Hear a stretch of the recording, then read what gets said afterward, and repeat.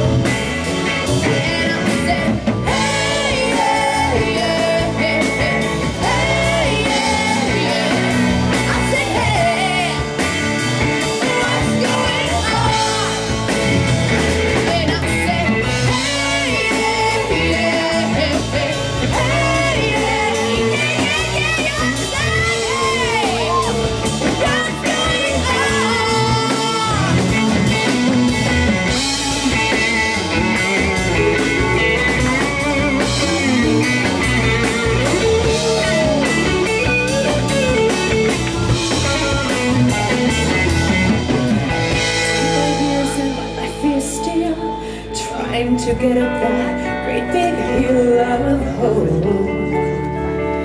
for the destination.